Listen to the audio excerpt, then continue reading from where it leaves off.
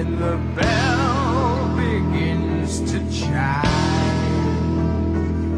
reflecting on my past life and